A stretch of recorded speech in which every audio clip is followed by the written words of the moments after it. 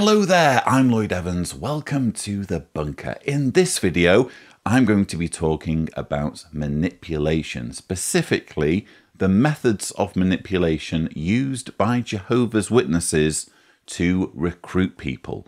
Now, for each of these methods of manipulation, and there are 11 of them I want to talk about, I'm going to be showing actual video material that clearly shows the way each of these methods are used. We're going to start off with method number one, feigning personal interest. And good examples of the way Jehovah's Witnesses do this and are encouraged to do this can be found in the 2020 Always Rejoice Convention of Jehovah's Witnesses. Let's discuss our first skill asking questions. Why should we ask questions? Questions serve a number of purposes. Sometimes we pose them just to stimulate interest and to get the conversation rolling. At other times, we're interested in hearing how a person thinks so that we can know better how to direct the conversation. Be observant. What do you know about your Bible student? What are the student's circumstances in life? What is the student's family situation? Does the student have hobbies? Interests? Uh, what is the religious background? What does your student believe? Well, be observant and ask good questions. And when you ask a question, Give your student time to answer. To ask a question without waiting for the answer would be like making an appointment to meet a friend, but then leaving before he arrived. It was our question, so we should wait for the answer. Wait for it, not in a way that makes people feel uncomfortable, but by listening kindly. By listening, we in effect say, You are important to me. And when the student responds, be positive. Commend the student for being honest, forthright, even if the answer is not exactly what you were hoping for. Of course, it's easy for us to think of questions on topics that interest us. But what is needed is to think of questions that others will enjoy answering. Such questions as Did you know that the Bible describes a time when sickness will be no more? It's worth just reiterating that the material that we've just been seeing, although it is available on the jw.org website, you can download, or anyone can download these videos. This material was specifically intended for a Jehovah's Witness audience, and the purpose of the symposium of talks that these speakers are involved in is to train Jehovah's Witnesses on how to better indoctrinate people, on how to effectively conduct Bible studies, and on how to effectively stimulate interest in people.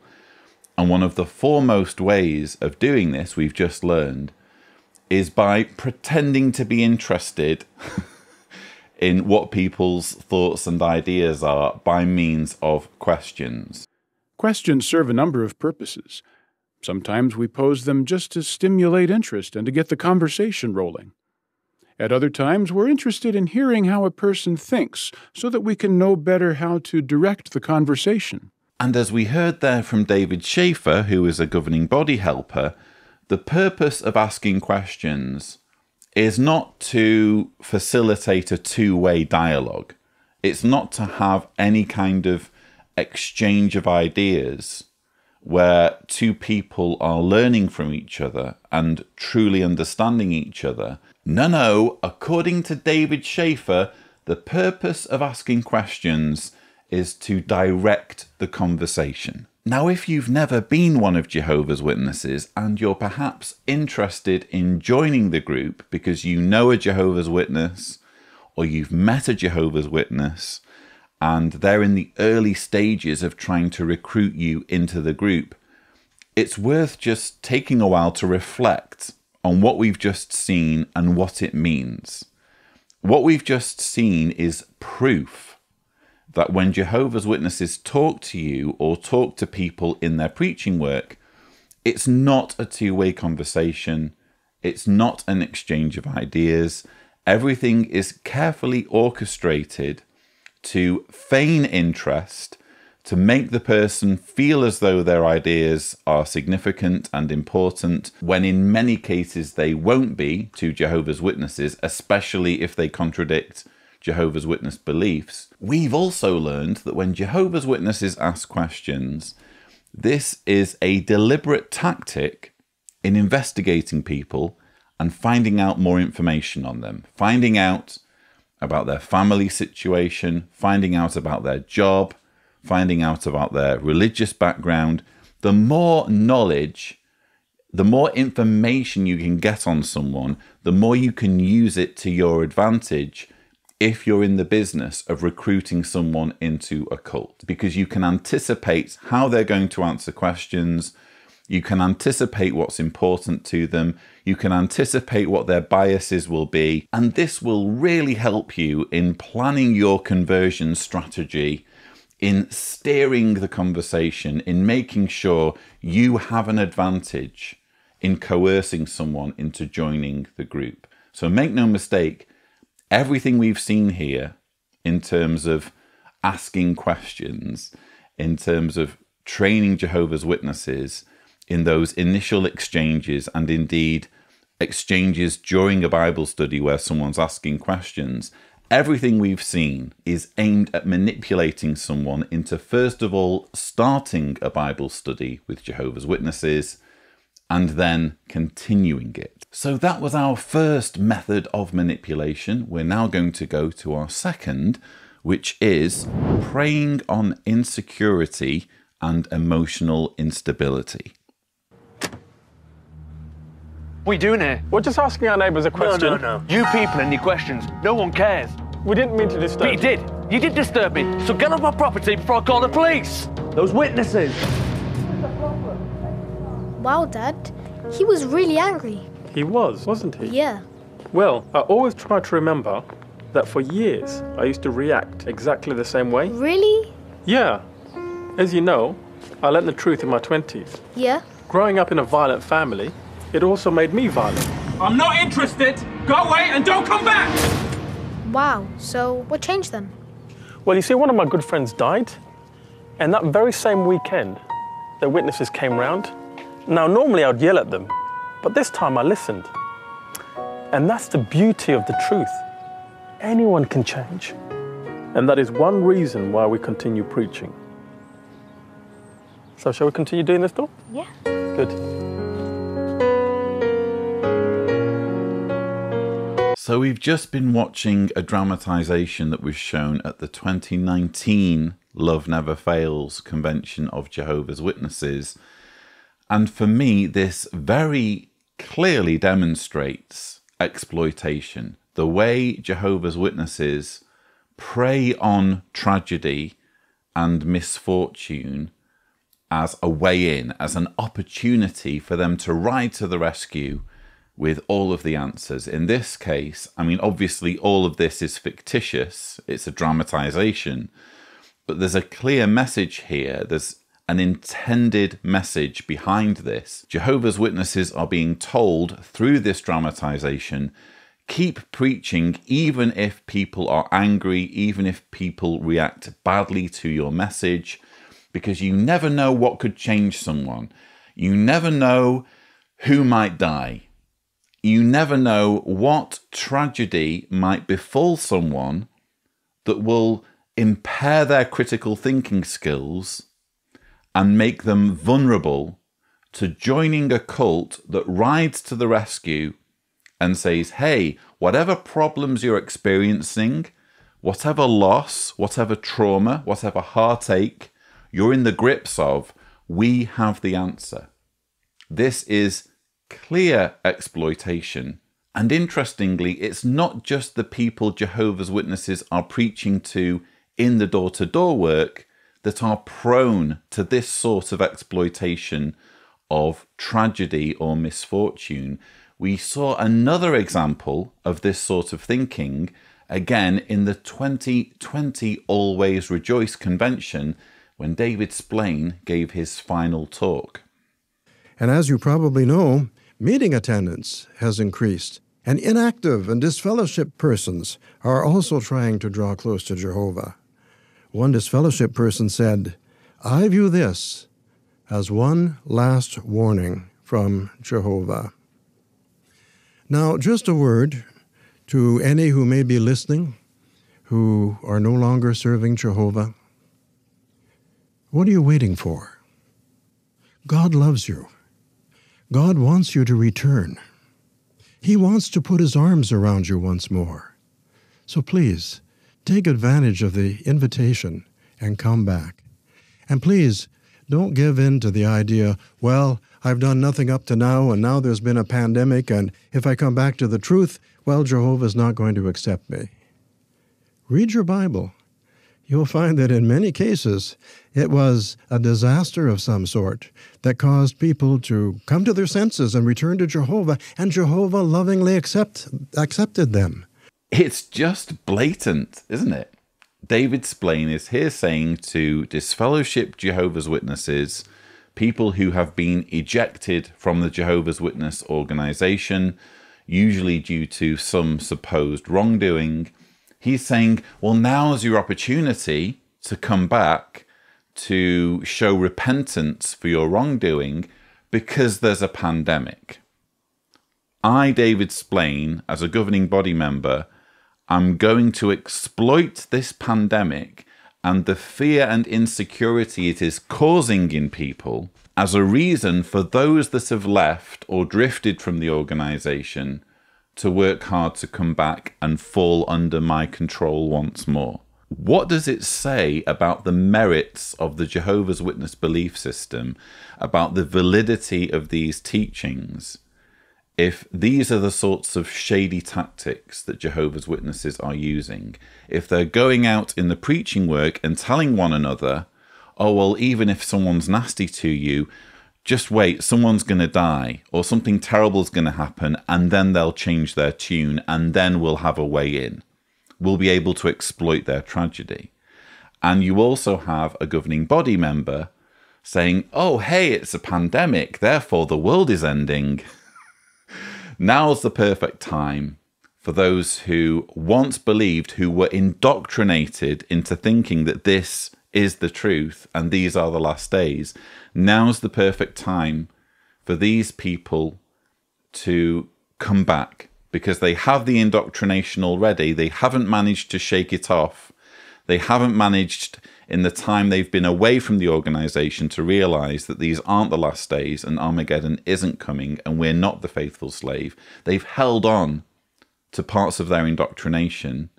And yay, there's a tragedy, there's a catastrophe that's terrifying people. So I'm going to use this window of opportunity to urge people to return. It's shameless, shameless exploitation. But what more can you expect from a group that so openly manipulates people? And we've barely started our list of 11 methods. We have method number three up next withholding information. For this example, we're staying with David Splane, but these are his words not from the 2020 Always Rejoice convention, but from the 2020 annual meeting. And we wondered why is it that so many people are not taking a stand for the truth? You can probably think of a number of reasons yourself. Some people, for example, are quite happy to learn what the Bible teaches, but they're not willing to act on what the Bible teaches. They're not willing to make drastic changes in their life. How early should I mention the meetings? And uh, what do I do if my Bible student doesn't show up at the meeting? What about opposition? That can be tricky. Bring it up too soon, and uh, you might scare them off. Wait too long, and it may be too late. So, just a bit of extra background on what the annual meeting is. Whereas a convention is more of an open event where outsiders are encouraged to come and listen to the talks, an annual meeting is a very exclusive event that's really only intended for believing Jehovah's Witnesses. And that's an important distinction to make to help us to understand what David Splane's just been saying and why he was saying it. David Splane, when he was preparing his talk, when he was thinking about what he was going to say in introducing this new Bible study aid, which is the purpose of his talk, he wasn't thinking about outsiders watching this. He wasn't thinking about people who are interested in Jehovah's Witnesses, who've perhaps been contacted and offered a Bible study. He is directing his words towards believing Jehovah's Witnesses who are essentially in on the scam. And if you think about it, what he is suggesting is openly deceiving people, is openly withholding information. He makes clear that a problem with Bible studies and with people accepting Bible studies is that people weren't, quote, making drastic changes in their life. They're not willing to make drastic changes in their life. Apparently, it's not enough to just learn about the Bible. And let's remind ourselves what the book was called before they introduced this latest new book, which is called Enjoy Life Forever. The previous study book was this one What Can the Bible Teach Us? You can even see on the back cover it says ask for a free Bible study. So you can imagine this book would be on the carts that you see in the street. And someone would perhaps take a copy of this and think, oh, well, this is okay. Jehovah's Witnesses are offering like an educational program where they can teach me what's in the Bible so that I can make my own informed decisions if necessary, as to how I live my life based on what's in the Bible. I'm learning about the Bible, and I have the freedom to make my own informed decisions based on what I learn about what's objectively in the Bible. But we learn from David Splane that that's not really how it works. It's not just about learning what the Bible teaches us, it's actually more about making drastic changes. Imagine how successful this book would be if if the title was what drastic changes can I make in my life? no one would take that book, would they? No one would think, "Oh, I'm totally going to make drastic changes based on what Jehovah's Witnesses expect of me." That is not, I repeat, not part of the sales pitch but it wouldn't be much of a scam if they were open and honest in the beginning when they're speaking to people, when they're speaking to interested ones, if they were open and honest about what's expected of them. And David Splane is here laying bare that what's expected of someone who studies with Jehovah's Witnesses is that they make, quote, drastic changes. And he's also openly encouraging Jehovah's Witnesses to withhold information when it comes to opposition. What about opposition? That can be tricky. Bring it up too soon, and uh, you might scare them off. Wait too long, and it may be too late. So, if you're a Jehovah's Witness and you're conducting a Bible study with someone, you don't want to be open and honest with them.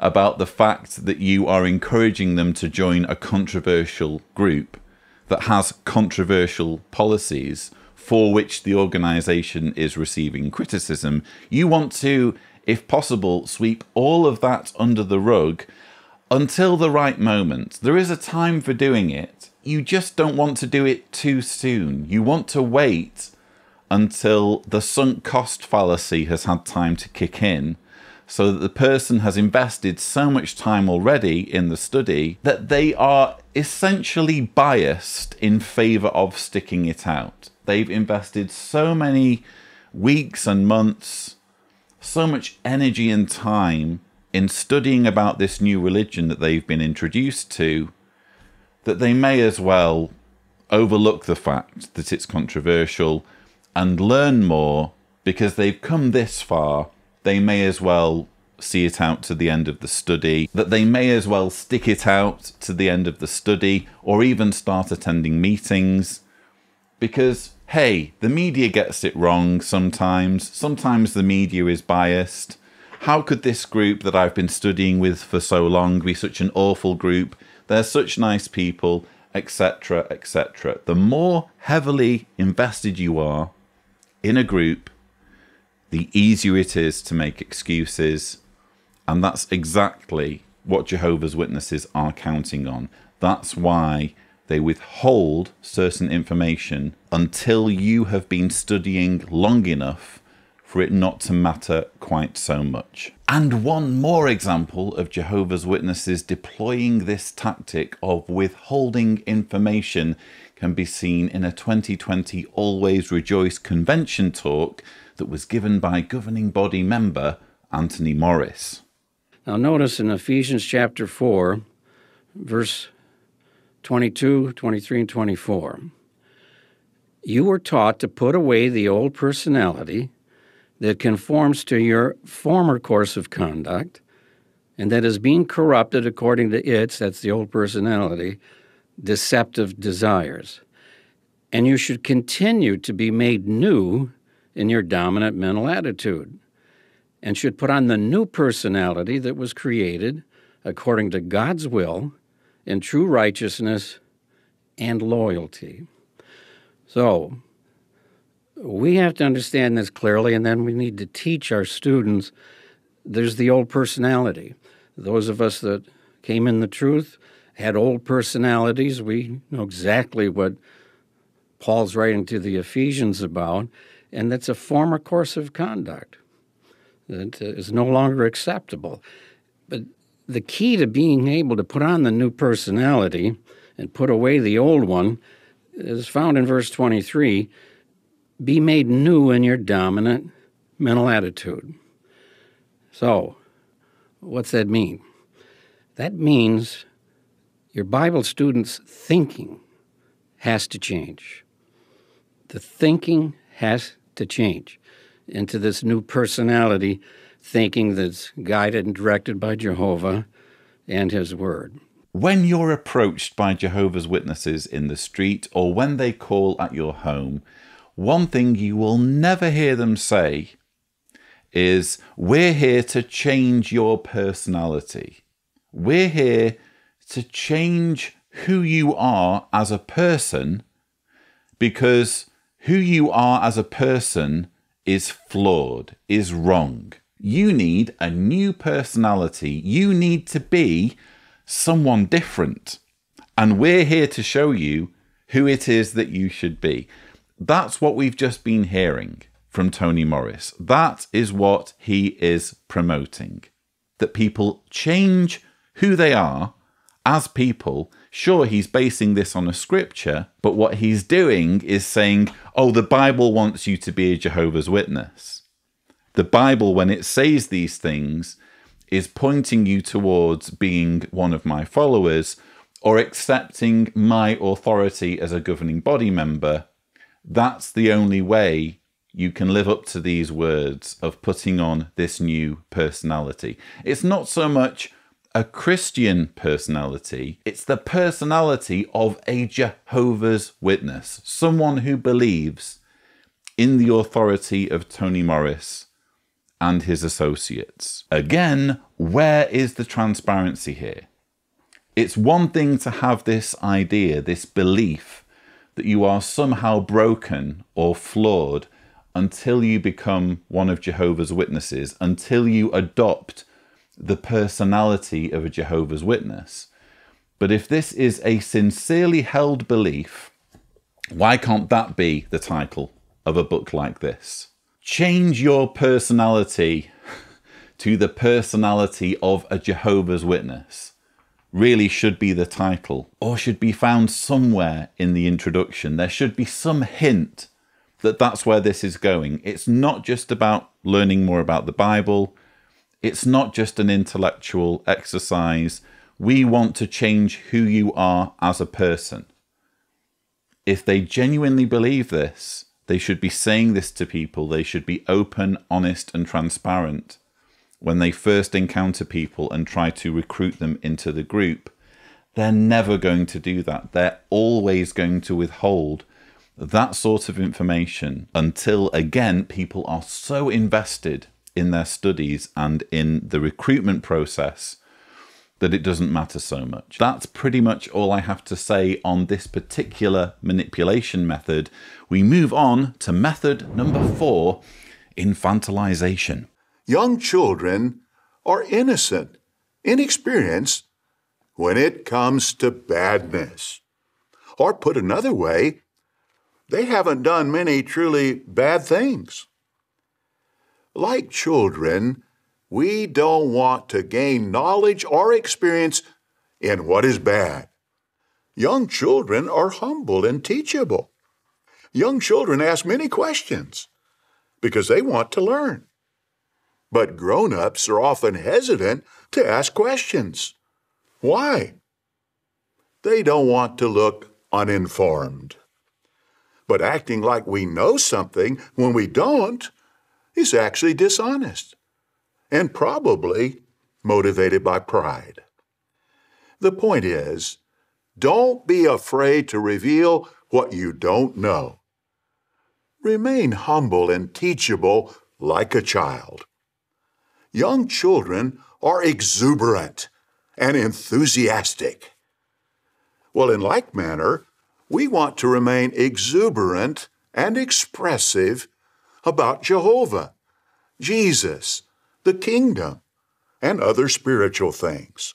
We're really seeing two examples here of infantilization rolled into one. We're seeing the overt calls to infantilization. Stephen Lett, as a governing body member, as one of the leaders of Jehovah's Witnesses, wants Jehovah's Witnesses to be more like children in being humble and teachable and compliant. You can understand why it would suit him for his followers to be like that, because then he could get away with more. Then it would be easier for him to coerce Jehovah's Witnesses into doing whatever he wants. Then it's going to be easier for him to control people but also, you could argue the overall style of his presentation is also infantilizing. And we see this routinely, not just in Stephen Lett's talks, which are, I guess, a conspicuous example of infantilization in the manner he speaks down to his audience as though they are five or six year olds. But we see this with other speakers as well, other governing body members and governing body helpers speak in this incredibly slow, oversimplified way in which they assume their audience knows almost nothing to the point where they will routinely define rudimentary words, expecting their audience not to know what a rudimentary word means. They want their audience to not just be stupid, and childlike, but also feel stupid and childlike and respond in a stupid and childlike way because they need Jehovah's Witnesses to be dependent on them. If you're a child, you're dependent. You need an authority figure. And the governing body, Stephen Lett and his associates, want to be that authority figure to people. So they need people to feel childlike and helpless.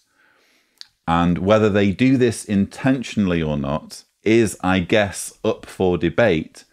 But it's certainly a clear method that's being deployed intentionally or unintentionally.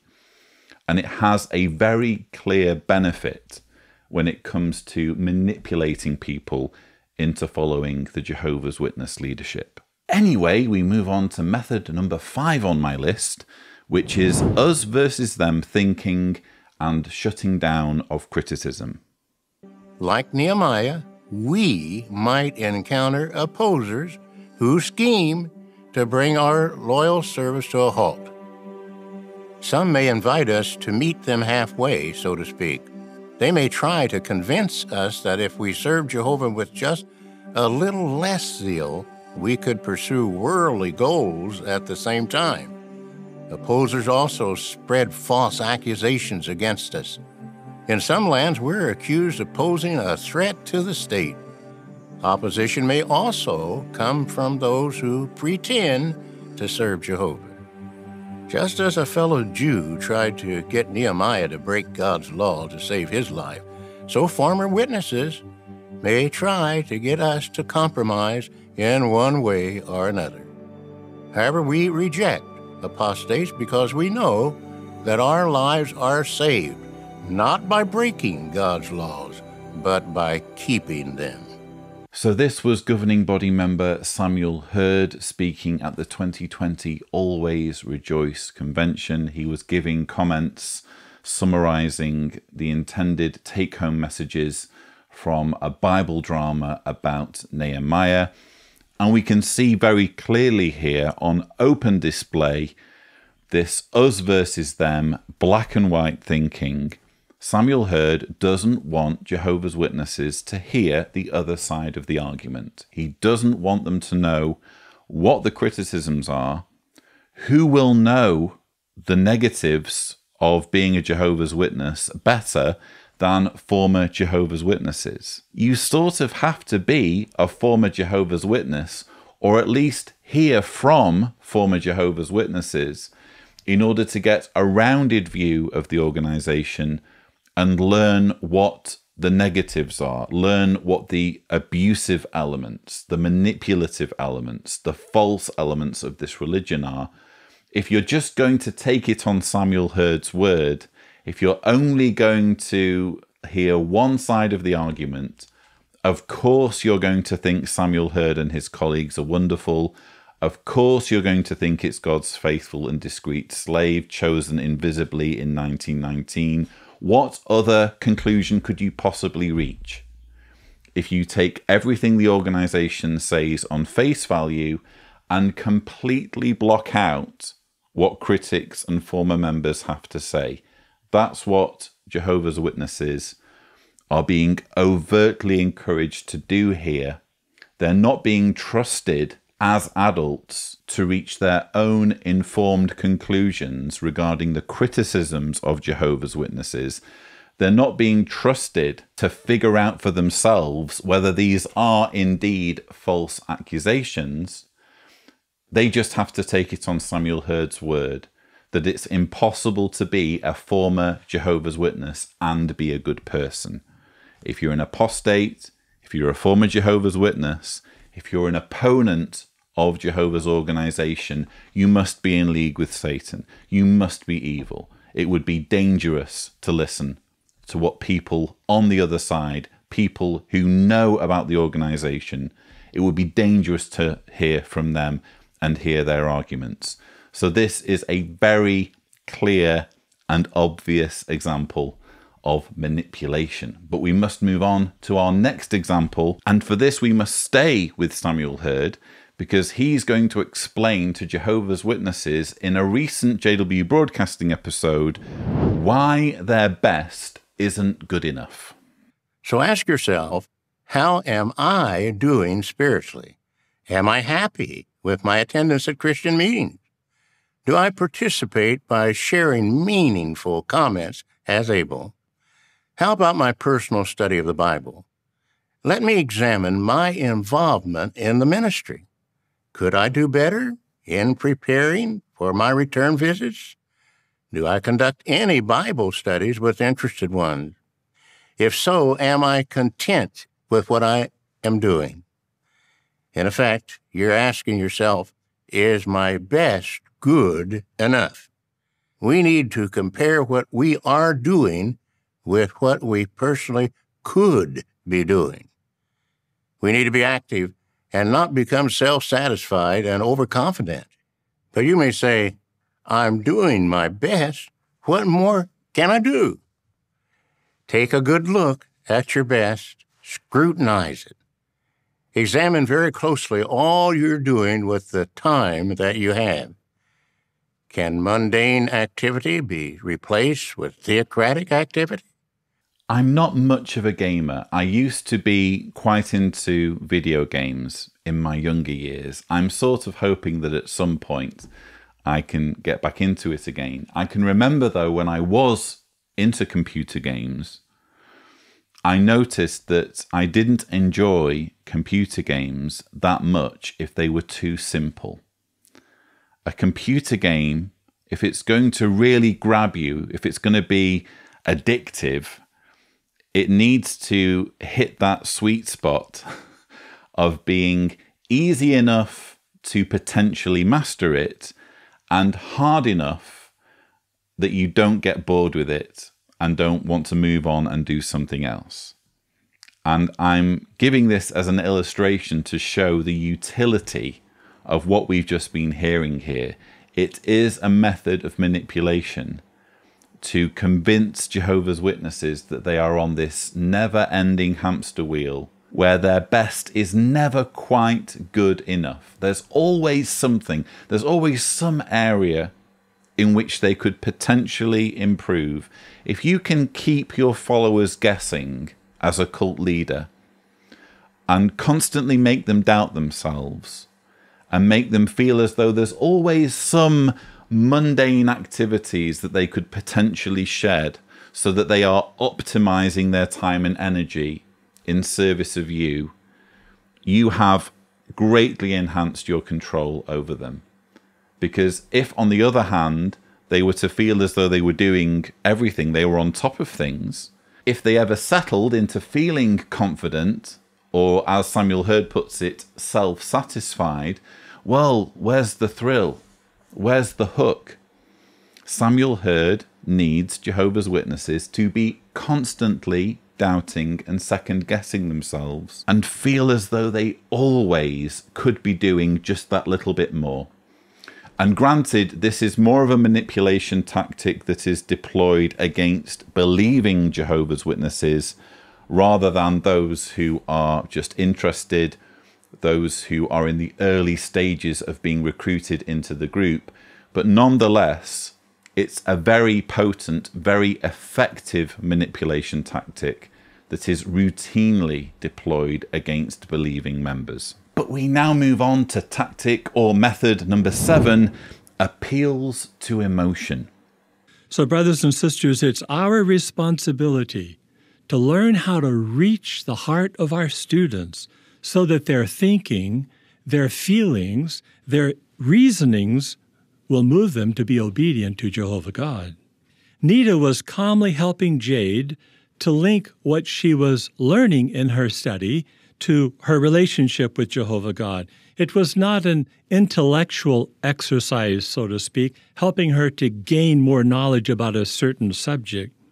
No, it's really helping the student to connect the dots, so to speak, see how the material applies to decisions that they're making in their life.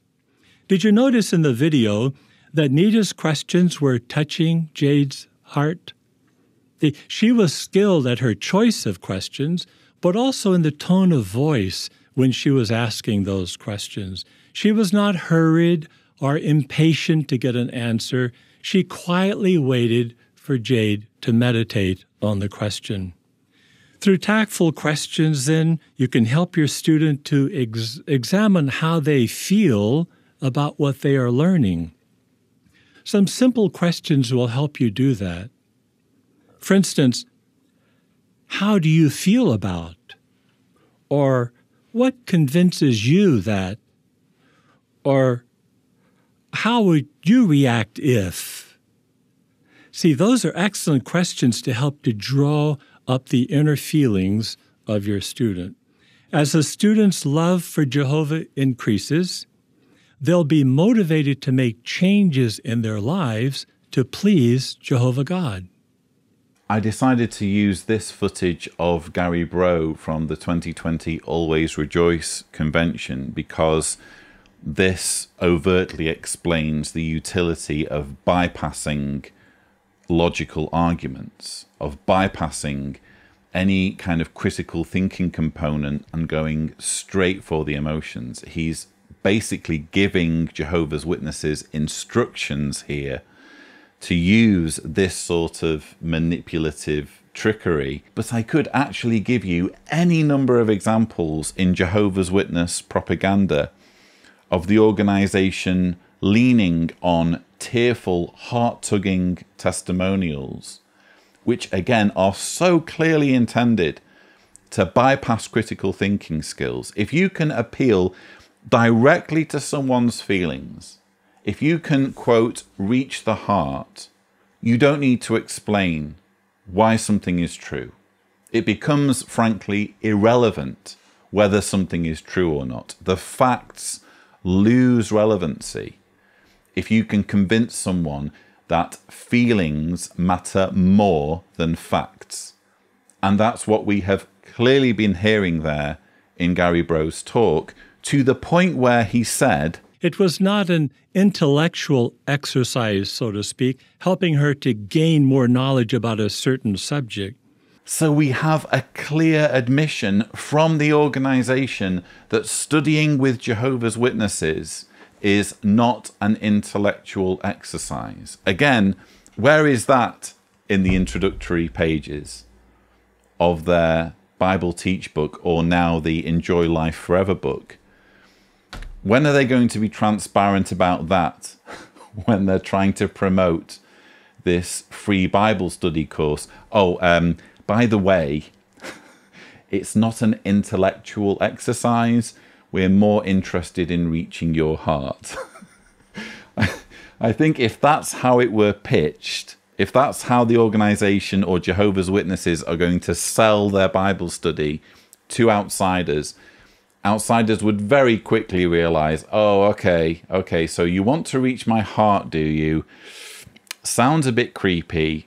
Sounds like you're trying to manipulate me. And they are trying to manipulate. This is yet another example of them withholding information, key information that would, if people knew about it, cause them to perhaps decline a Bible study. But again, this is very much a tactic, a method of manipulation used by Jehovah's Witnesses, not just on interested ones, but on believing members. If you can skillfully use appeals to emotion, you can bypass people's critical thinking skills and basically persuade them to accept almost anything. But we must move on to misrepresenting and misquoting experts. Well, sad to say, many people these days take a very casual attitude toward marriage. And when the relationship becomes strained, they just give up and walk out on their mate. But that is not the Christian way. Marriage is to be a lifelong relationship. Just a few verses later on in Matthew 19, verse 9, Jesus taught that the only scriptural ground for dissolving marriage is when an innocent mate chooses not to forgive an adulterous partner. And that is because sexual relations outside the marriage bond are a gross perversion of the one flesh union. Now let's read Paul's words about this at 1 Corinthians chapter 6. He said, Do you not know that anyone who is joined to a prostitute is one body with her? For the two, says he, will be one flesh. So the adulterer pulls away from his marriage mate and makes himself one flesh with a third person.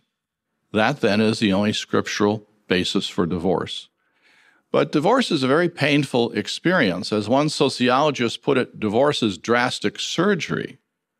Uh, to sever the one flesh bond between husband and wife would be like sawing oneself asunder. What though if no adultery has been committed?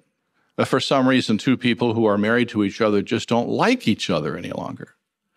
Divorce is not an option. So, what we've just been hearing here from Robert Ciranko, who is a governing body helper here giving a morning worship talk, what we've just been hearing is number one, a misquote, and number two, terrible advice. What he's suggesting here is that there is no grounds for divorce outside adultery. And Jehovah's Witnesses take this teaching to the extreme where an abused spouse must stay married. The best they can hope for is separation. They're not allowed to move on with their lives and remarry someone who isn't going to abuse them And predictably, in case after case, this has put abused spouses, men and women in abusive relationships, in harm's way to the point where their lives are in danger and they don't feel free to move on with their lives. This is one of the most dangerous and abusive teachings of Jehovah's Witnesses. But that aside, you might be wondering well, how is this a misquote? Well, you heard Robert Ciranko there say. But divorce is a very painful experience. As one sociologist put it, divorce is drastic surgery. So, in order to give his words importance and relevance, he is here using an appeal to authority, which incidentally is a logical fallacy. He's saying that his arguments are valid because of what a sociologist said about divorce being drastic surgery. You might be wondering who is this sociologist? Where's this quote come from? I find it interesting that Robert Ciranko hasn't been transparent here and simply mentioned in his talk that he's pulled this quote or he's pulled these words from an Awake article, which he clearly has, as I'm going to demonstrate. You'd think if he's going to be transparent, rather than pretending that he's sourced this quote or he's done this research, you'd think he'd be open about the fact that in preparing his comments for morning worship, he's literally just gone on Watchtower Online Library and pulled a, an article on divorce in which the sociologist is quoted. Let's read from the Awake article, the 1982 Awake article, from which Robert Ciranko pulled these words. With a marriage mate who seems impossible and with a wretched situation in the home, one might reach the stage of thinking that any change must be for the better. There may be a longing for freedom and a single life again. However, the matter is not as simple as that. Said sociologist Robert Weiss, people need to understand that divorce is drastic surgery.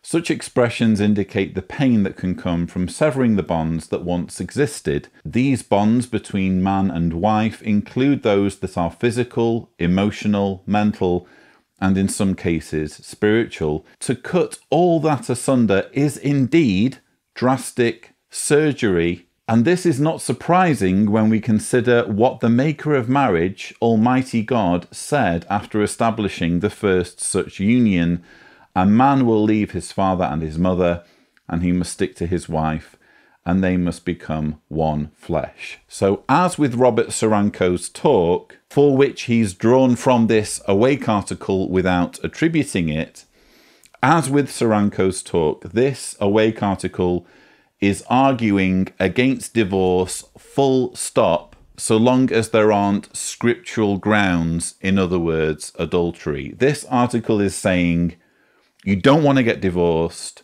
It's too stressful. This sociologist, Robert Weiss, says it's drastic surgery. Why would you want to undergo drastic surgery for no reason? Best to avoid it. It's a very clear argument. Divorce is dangerous. Divorce is bad. Don't get divorced. Which begs the question what did the full quote say?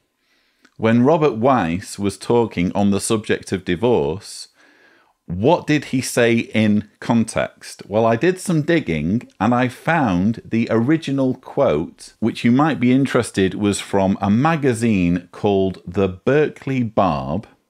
It's a 1979 magazine, and Robert Weiss is quoted in an article by R. McCall and H. Stocking titled Divorce The Myth of Liberation. And here's the quote in full. You decide for yourselves whether Robert Weiss is completely against divorce. Robert S. Weiss, a sociologist at the University of Massachusetts at Boston, who has studied divorce for many years, agrees I think creative divorce is analogous to creative pneumonia, he said. It's a disabling condition. Of course, marriage can also be horrendous, and sometimes the only thing to do is to end it. But people need to understand that divorce is drastic surgery. So, was Robert Weiss suggesting that you should not consider divorce? You, there are no circumstances in which it would be advisable for someone to get a divorce or end their marriage. Quite clearly not. He quite clearly says there marriage can also be horrendous, and sometimes the only thing to do is to end it. But they're not going to quote those words, are they? The organization. Robert Ciranko's not going to quote those words. They're going to quote mine. They're going to cherry pick and take out of context the one part of those words that agrees with their theology because they want to manipulate people. They want to make it sound as though their ideas and their teachings are supported by sociologists.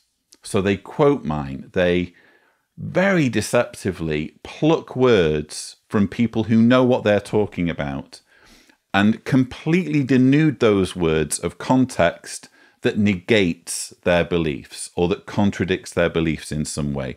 Again, overt manipulation. The organization, I might add, has been doing this for decades. This, to my knowledge, is the only example of them doing this on camera in the JW broadcasting era. And I guess it was inevitable that it would show up on camera eventually, since they've been making, you know, hundreds and hundreds of videos since 2014 in particular. It was inevitable that at some point, one of these misquotes would find its way onto camera. Again, I'm not saying there aren't more. This is just the only one that I'm familiar with.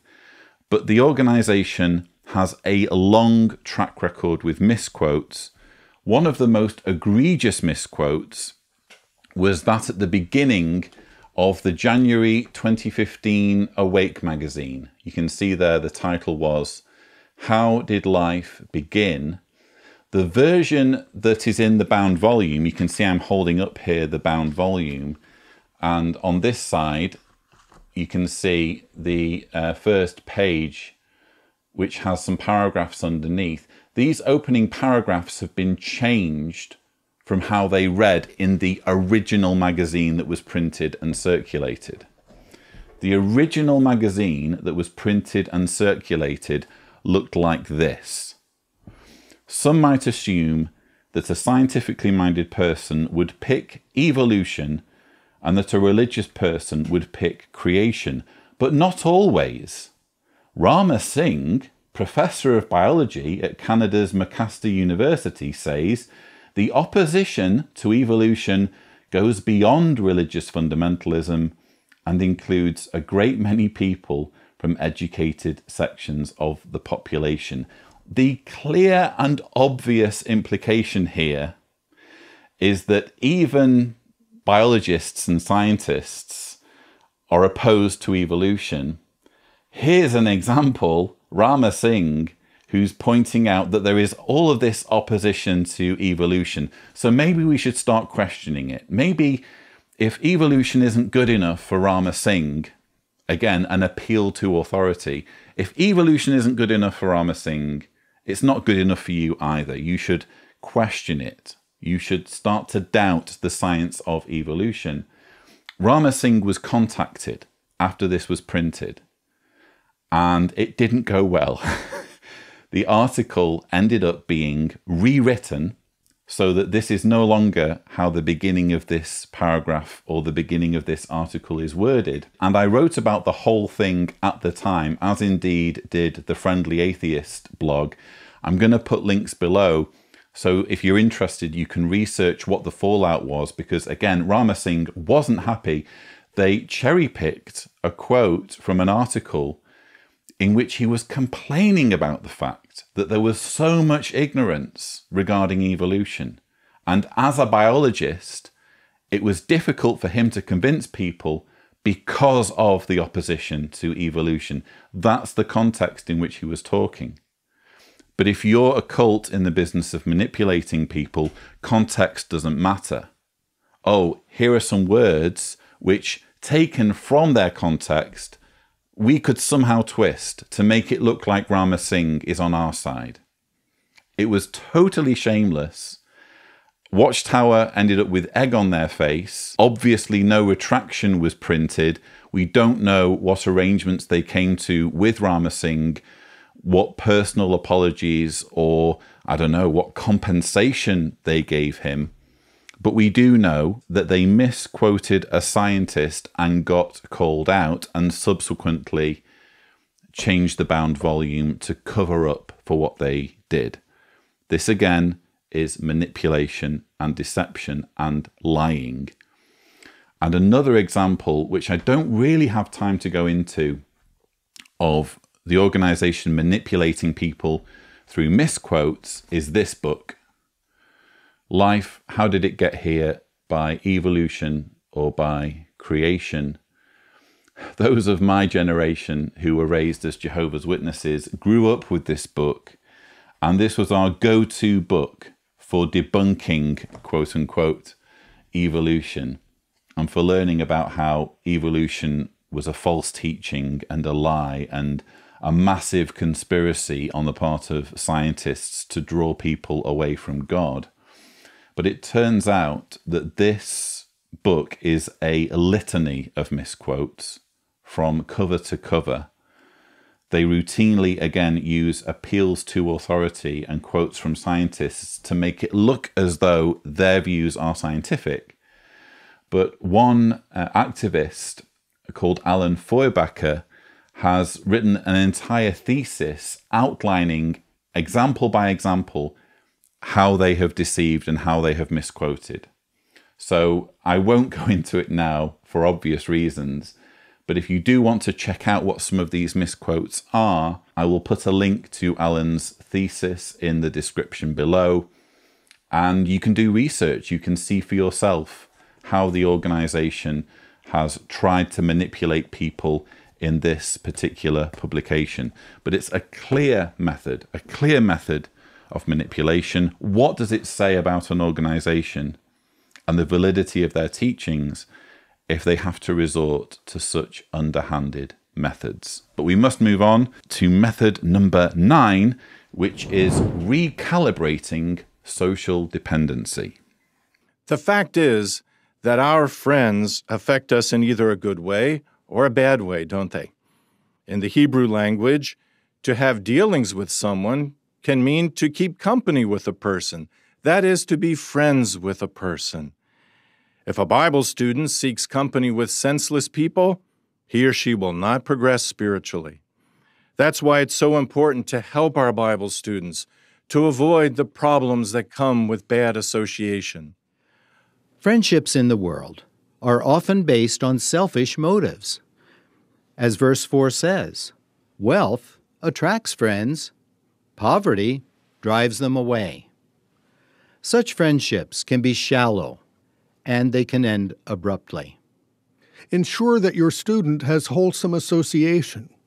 As time goes by, your student is sure to lose former associates, either because the student decides or the former associates decide.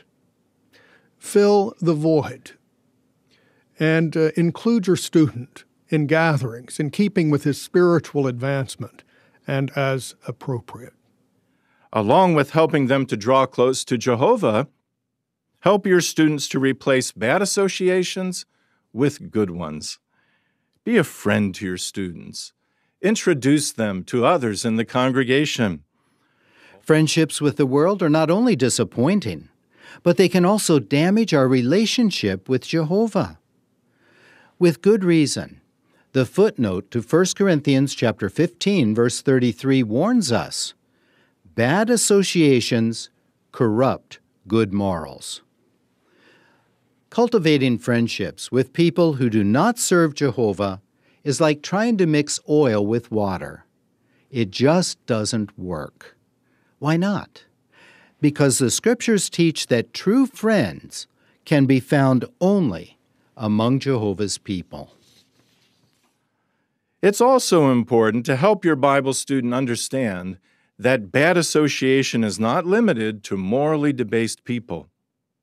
The Bible tells us that the whole world, the whole world, is lying in the power of the wicked one.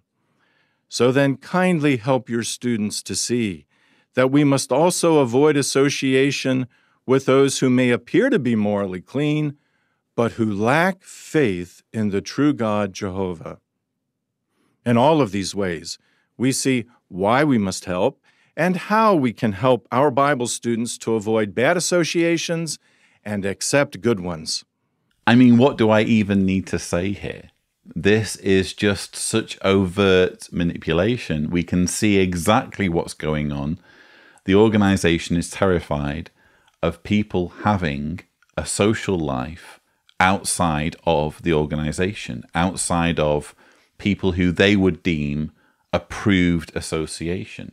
If they can control who people's friends are, if they can calibrate your social circle to their liking, so that you're only ever surrounded by people who dote over them and who acknowledge their authority, it's easier for them to control you. It's such an obvious manipulation tactic. When it gets to the point where it's not even about whether the individual is bad association, when it's purely about whether they are a Jehovah's Witness or not, which is what Kenneth Cook just said there. So then, kindly help your students to see that we must also avoid association with those who may appear to be morally clean, but who lack faith in the true God Jehovah. When it's not just about whether people are good or bad, it's purely about whether they have the badge Jehovah's Witness. You can see where this is going and you can see very clearly what the motives are. Why shouldn't you be friends with people who are morally clean, irrespective of what their religious beliefs are? That's not how it works when you're one of Jehovah's Witnesses. It's not about whether people are good or not. And Kenneth Cook must know that it's not as simple as saying everyone in the world is evil, everyone in the world is bad. He joined the organization, I think, as a teenager or as someone who was at least in their late teens, early 20s. He's had experience enough to know that not everyone in the world is a bad person. And that's why he's saying this, because he knows that Jehovah's Witnesses are going to be encountering on a regular basis, particularly if they have jobs, particularly if they're going to school, on a regular basis, they're going to be seeing examples in their lives of fine, honest, upright, principled people who aren't Jehovah's Witnesses. And he's here saying, never mind that. You're not to be friends with them unless they accept my authority. I want you to be surrounded by people in your life who acknowledge my authority because then it's going to be easier for me to control you. Obviously, he's not saying that, but that's what he's doing. That's what he's up to.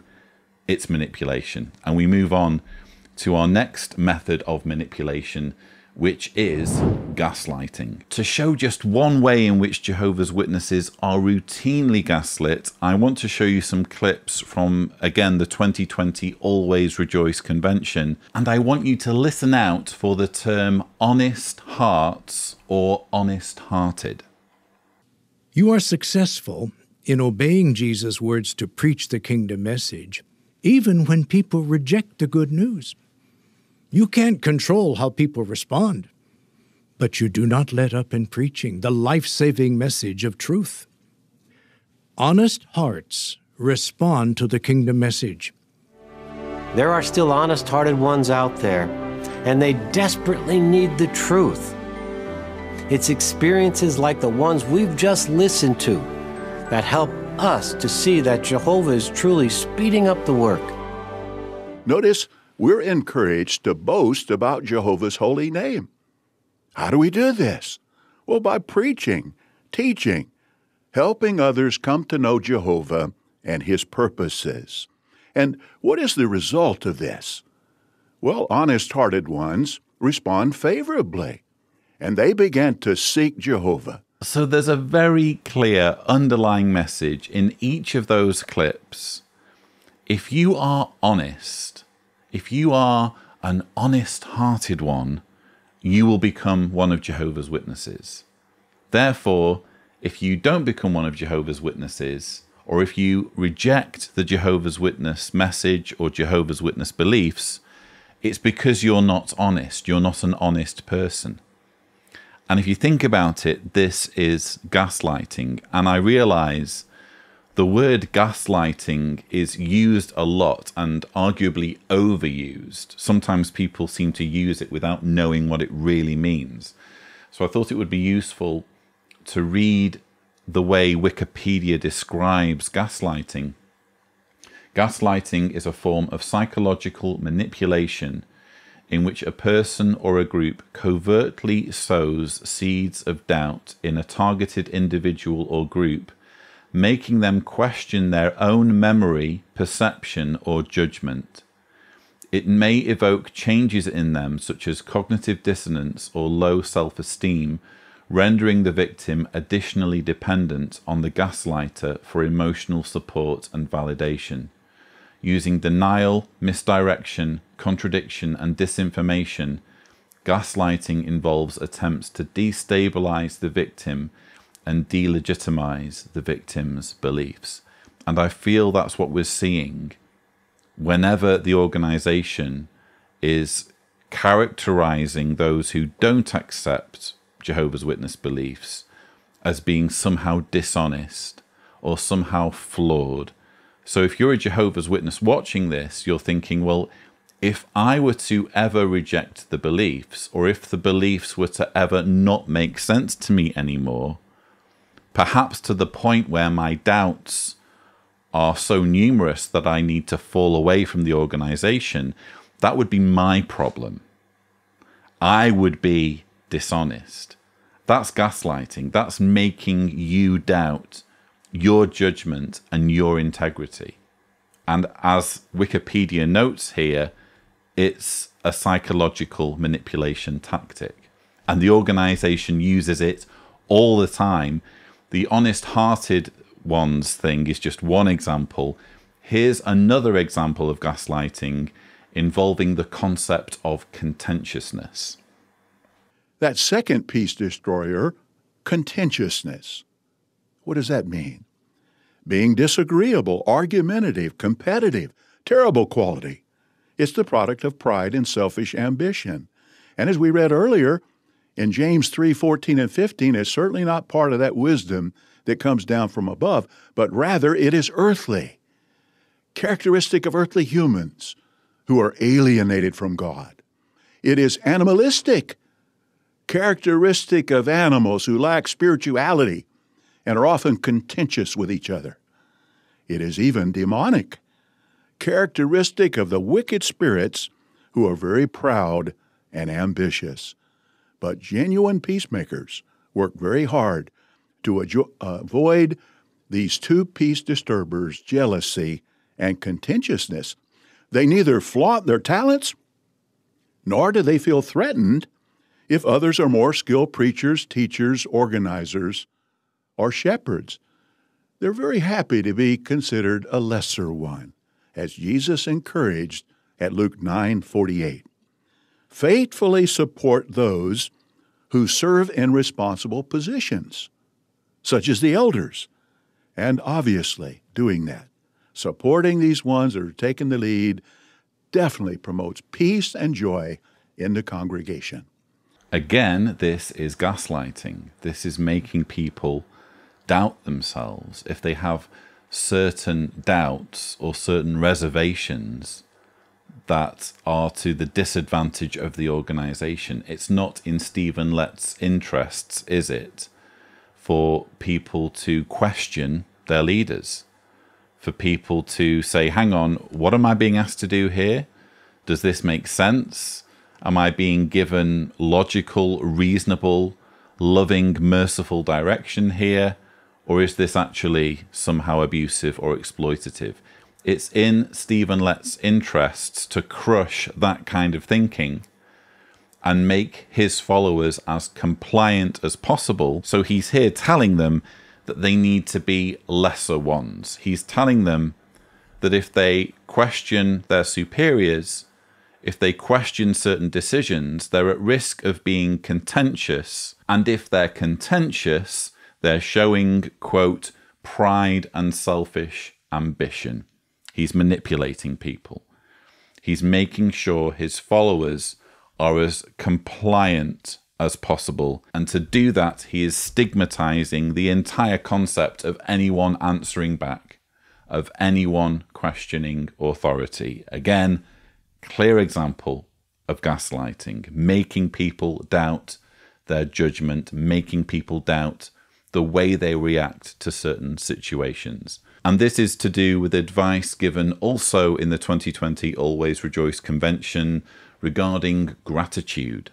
So I saw for myself, when I was spiritually hungry, how that affected my words and my actions towards the brothers and sisters. The keys to maintaining Jesus' mental disposition are prayer, gratitude, and contentment.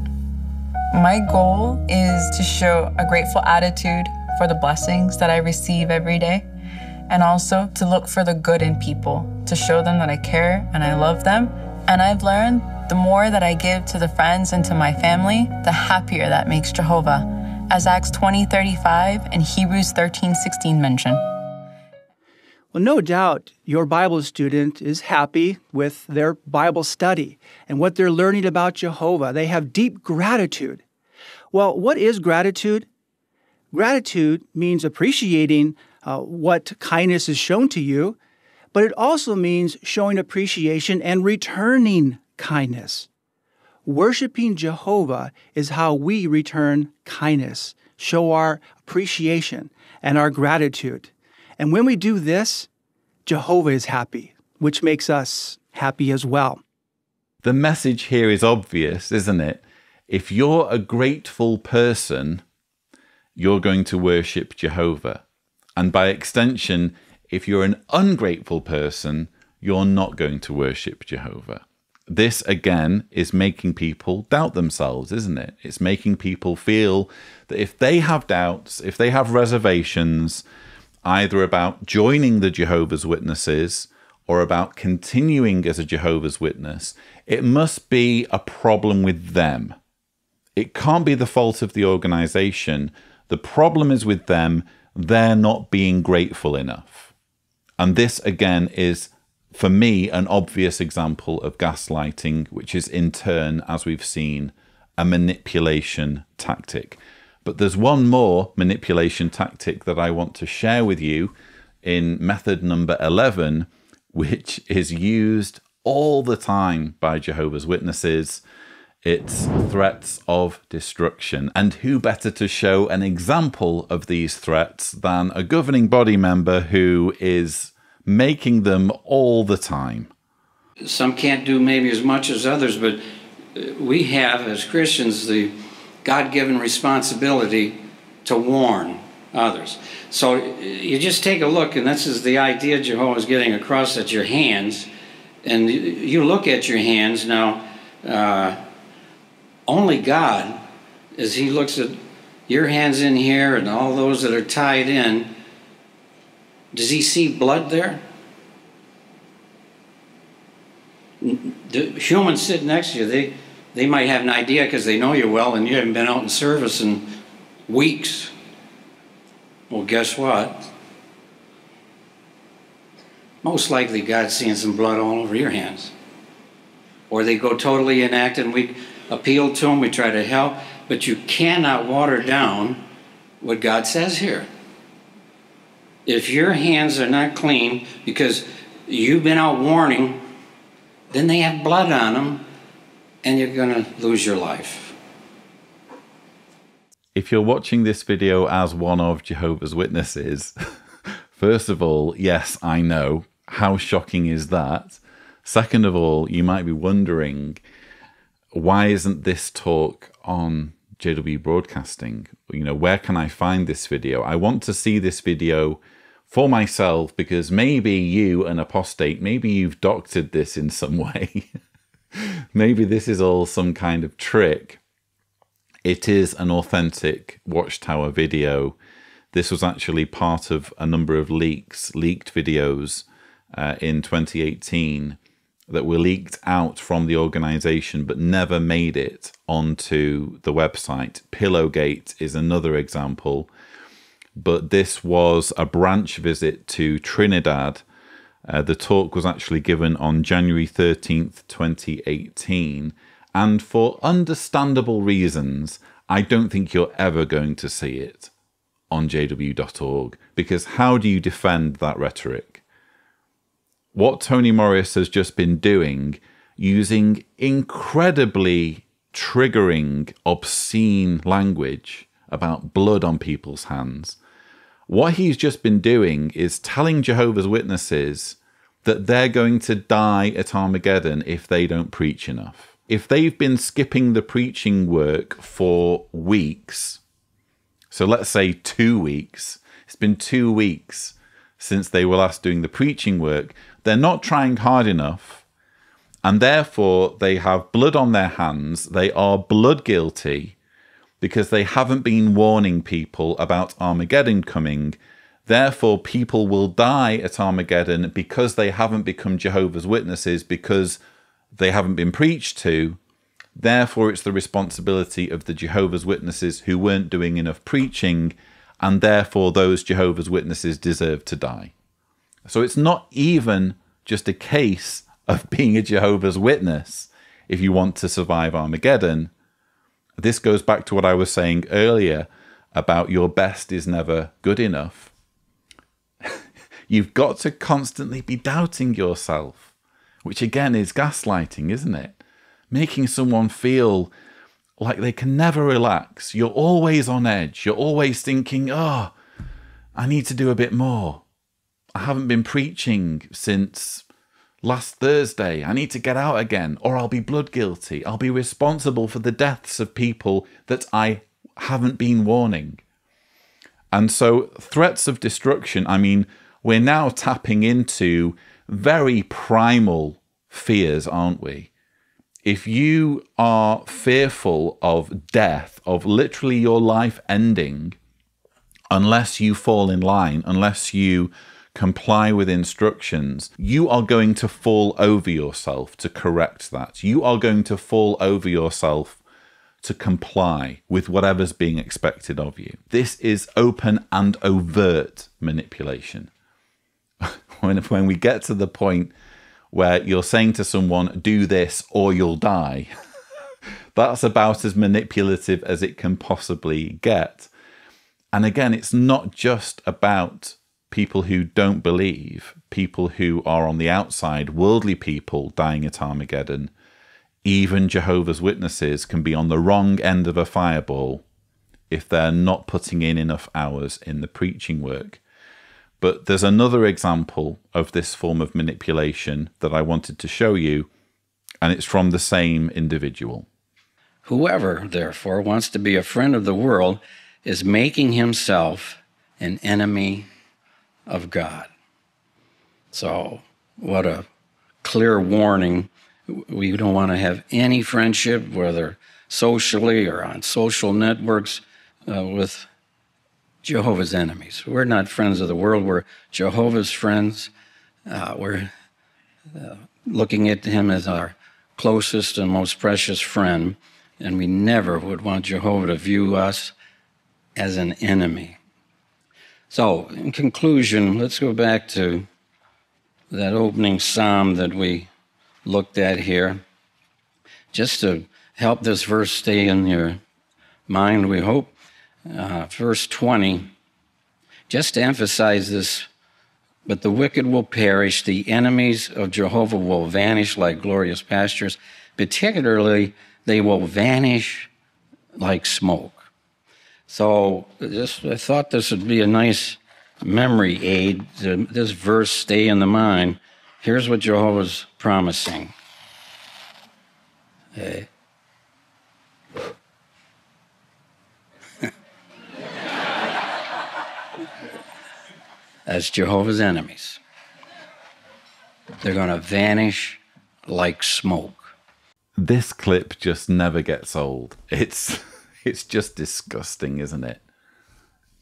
Does anything more potently display the arrogance of this man than him overtly and blatantly relishing the destruction of those who question his authority, which is what we're seeing here. He is relishing the annihilation, not just the sidelining, not just the irrelevance, not just people ignoring his critics. He is relishing, as a governing body member, the death and destruction of those who don't recognize his authority. And as I've explained before, the current teaching is that when Armageddon strikes, the governing body believe that they will be involved in the slaughter themselves. They will be, I don't know, raptured to heaven during the Great Tribulation at some point so that they can get in on the act. They can be participating directly in going round and killing people like me who are opposers who don't deserve to live because we don't recognize their authority. What arrogance, what fanaticism to have that outlook. But again, apart from being, you know, clear arrogance, this is manipulation, isn't it? It again taps into this very primal and justifiable urge that we all have to exist. We want to live. You know, unless obviously we have mental health problems or we're struggling with depression and feelings of suicide. Under healthy circumstances, it's natural that we would want to survive, we, that we wouldn't want to be executed as heretics. And what Tony Morris is doing there very graphically, even using the visual aid of blowing out a match, is he's saying, Follow me or die. It's a direct and clear threat of destruction. And again, obvious manipulation, just as with all of the other methods that we've discussed.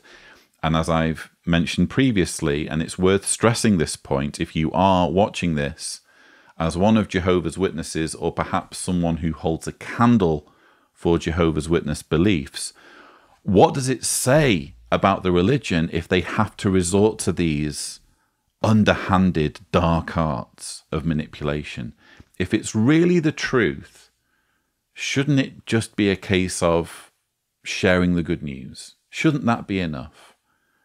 Shouldn't it be enough to just be open and transparent and say, here's what the Bible teaches, here's what God expects of you, take it or leave it? What does it say about an organization that does all this if they have to stoop to these depths in order for their beliefs to make sense, in order to recruit people?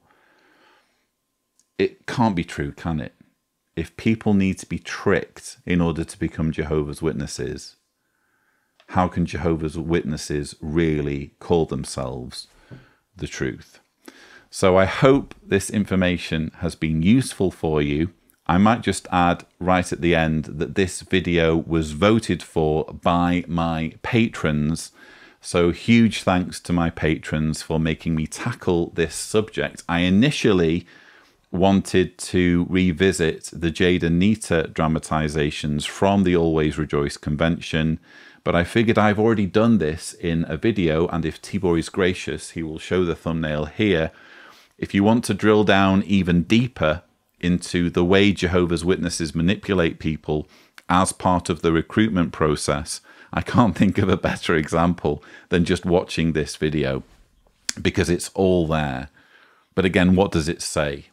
About an organization that needs to trick people in order for the beliefs to make sense.